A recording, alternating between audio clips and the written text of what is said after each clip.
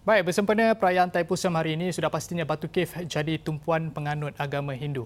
Dan wartawan kami, Hilmi Malik, kini telah pun bersedia di Batu Cave dengan laporannya. Hilmi? Hilmi? Baik, Hilmi, teruskan dengan laporan. Eh, terima kasih Syah. Terima kasih rakan tugas.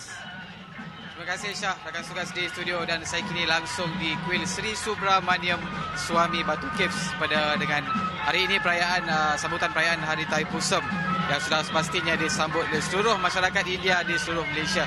Dan apa yang boleh saya katakan uh, setakat uh, jam 7 pagi tadi berdasarkan tinjauan saya, sememangnya keadaan uh, sememangnya meriah dan uh, juga difahamkan mereka telah mula berkampung di kawasan kuil ini sejak semalam dan juga ada yang telah bermalam di luar kuil ini dan juga seperti yang anda lihat uh, ketika ini di belakang saya uh, merupakan uh, upacara kita panggil sebagai Kavadi iaitu antara simbolik perayaan Hari Taipusam yang masih lagi berlangsung sejak pagi tadi sehingga kini.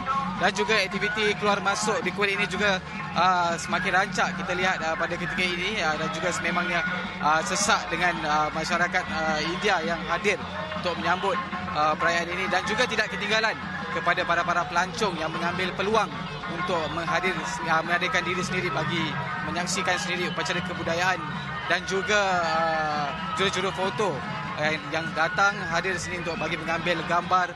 Dan ini yang saya katakan uh, cantiknya negara kita Malaysia uniknya negara Malaysia ini dengan pelbagai bangsa dan juga budaya yang kita kongsi yang juga tidak ada tumpu, hanya tertumpu kepada masyarakat India juga yang dihadiri oleh uh, bangsa Melayu sendiri juga ada Cina dan sebagainya untuk menyaksikan uh, upacara sambutan hari Taipusam ini. Dan juga saya fahamkan pelbagai lagi aktiviti yang diadakan pada hari ini dan juga di sebelah depan saya juga uh, pihak Kementerian Kesihatan uh, tidak melepaskan peluang untuk membuka booth uh, bagi uh, tujuan uh, proses uh, menderma darah bagi mereka yang hadir uh, juga yang berkelapangan boleh terus menuju ke lapangan booth tersebut untuk bagi aktiviti tujuan menderma darah dan uh, saya jangkakan uh, pelbagai lagi aktiviti menarik yang akan berlangsung ketika ini dan ikuti perkembangan yang akan saya bawakan lagi sebentar saja lagi dan juga saya mengambil kesempatan ini mewakili pihak Esra Awadi untuk mengucapkan selamat Hari Taipusam bagi seluruh masyarakat India di seluruh Malaysia. Untuk itu kita kembali bersama rakan tugas di studio. Silakan. Baik Helmi, terima kasih banyak. Terima kasih. Itu tadi Helmi, rakan tugas kami di langsung terus daripada Batu Cave